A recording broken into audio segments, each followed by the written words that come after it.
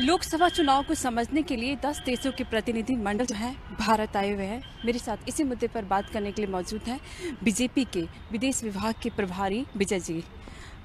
प्रतिनिधि मंडल आया हुआ था। आज आपने बीजेपी हेडक्वार्टर उनको पूरा दिखाया, घुमाया। क्या क्या बातें हुई? हमारा जो एक मूल उद्देश्य था आज के कार्यक्रम का कि जो एक इलेक्शन का एक ओवरऑल सिस्टम क्या है भारत में, और उसमें भाजपा का प्लानिंग कैसे है।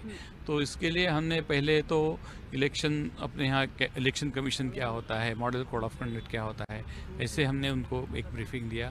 दूसरा एक ब्रीफिंग जो हमारी प्रधानमंत्री की जो ऐप है नरेंद्र मोदी ऐप कि जिसकी वजह से हम लाखों हमारे कार्यकर्ताओं के साथ तुरंत कनेक्ट हो सकते हैं कितनी इंटरेक्टिव वो ऐप है ये सब उसका एक डेमोस्ट्रेशन हमने दिया।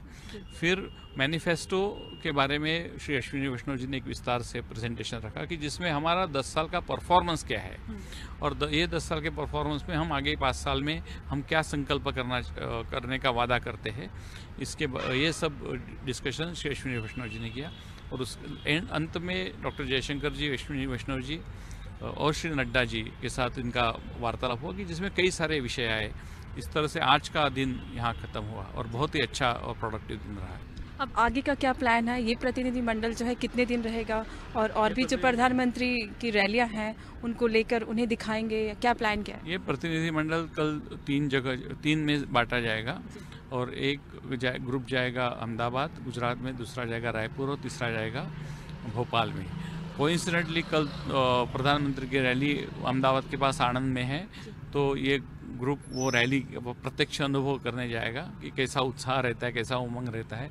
वैसे ही श्री नड्डा जी की रैली कल सागर के पास है तो भोपाल से दोपहर को ये दूसरा ग्रुप वहाँ जाएगा। तो ऐसी कई सारी प्लान्स हमने आगे के तीन दिन के लिए किए हैं। बहुत बहुत शुक्रिया। तो आपने सुना, बीजेपी के विदेश विभाग के प्रभारी विजय चौथाई वाला को। दिल्ली से कैमरामैन ललन कुमार के साथ श्वेता गुप्ता।